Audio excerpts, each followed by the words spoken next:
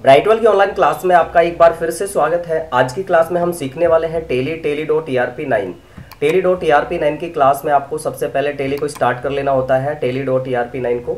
और Tally dot E R P nine को start करने के बाद में आपको कंपनी ओपन कर लेना ओपन करने के बाद में आप किस तरीके से एक स्क्रीन आपके सामने आ जाएगी। कंपनी किस तरीके से बनाते हैं ओपन करते हैं, मैंने शुरू के एक से पाँच वीडियो में आपको दिया हुआ है, जाके आप चैनल पर देख सकते हैं।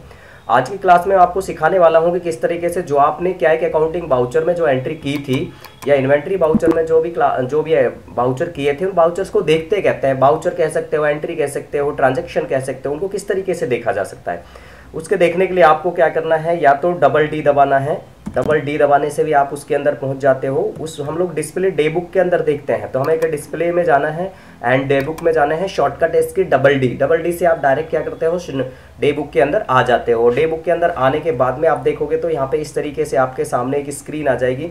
इसमें देखो कौन कौन सी चीज़ें यहाँ पे आप देख रहे हो देखो यहाँ पे स्टार्टिंग में डेट दिखाई दे रही है यहाँ पे आपको डेट आएगी और इस तरीके से यहाँ पे डिस्प्ले डे बुक की डेट दे सकते हो और पार्टिकुलर में आप जाओगे तो यहाँ पे जैसे कैश है स्टेट बैंक ऑफ़ इंडिया है रेंट है सैलरी है ये सारे ट्रांजेक्शन आ रहे हैं साथ में आप देख सकते हो कि यहाँ पे वीसीएच टाइप दे रखा है वीसीएच टाइप्स के अंदर अगर जाओगे तो यहाँ पे आपको दिखाई देगा कॉन्ट्रा कॉन्ट्रा की दो एंट्री है यहाँ पे है और पेमेंट बाउचर की यहाँ पे कुछ एंट्रियाँ हैं दो एंट्री यहाँ पे रिसिप्ट की हैं एक जर्नल की एंट्री है सेल्स की हैं परचेज की हैं डेबिट नोट ये इसका क्या है कि वाउचर के टाइप्स दिखाए जाते हैं और इस तरीके से यहाँ पे इनको समझ सकते हो कि आपने कौन कौन सी एंट्री की हुई है।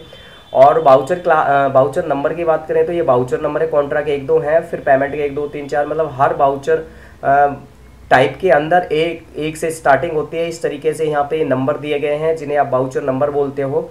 दूसरा डेबिट अमाउंट कितना है? यहाँ पे ये डेबिट अमाउंट दिया गया है। देन क्रेडिट अमाउंट कितना होता है? वो क्रेडिट अमाउंट दिया गया है। डेबिट अमाउंट को इनवर्ड क्वांटिटी और आउटवर्ड क्वांटिटी क्रेडिट अमाउंट को बोला जा सकता है। आपको मैं एक चीज़ और बताना चाहता हूँ कि यदि हम लोग इस डे बुक को डेट चेंज करके देखना चाहें तो आप इसमें F2 दबा के वो अलग एक पार्टिकुलर डेट को भी देख सकते हो। जैसे मैंने यहाँ पे one dot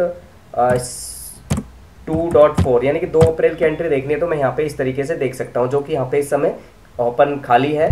और अगर मुझे यहाँ पे वापस से यहाँ पे एक दो चार एक अप्रैल में आना है तो इस तरीके से हम यहाँ पे देख सकते हैं। यदि हम चाहते हैं कि ए, पूरे एक फाइनेंशियल ईयर की पूरी एंट्री देखना चाहें तो आपको ऑल्ट के साथ एफ़ टू प्रेस करना होगा।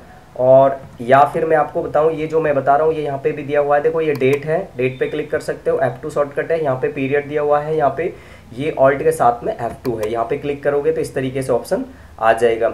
अब बताया गया है कि यहाँ पे आप फ्रॉम में कब से कब तक देखना चाहते हो? एक अप्रैल 2023 से मैं स्टार्ट करना चाहता हूँ और एंड करना चाहता हूँ इकतीस तीन तक, चौबीस में। तो पूरे के पूरे फाइनेंशियल ईयर की यहाँ पे आप देखोगे एक अप्रैल 2023 से और 31 मार्च 2024 तक की सारी यहाँ पे जितनी भी एंट्री होंगी वो देख सकते हो। इसको डाउन एरो की से आप नीचे इस तरीके से जा सकते हो। तो आज की वीडियो में बस इतना ही, मिलते हैं नेक्स्ट वीडियो में, तब तक के लिए जय हिंद, जय भारत।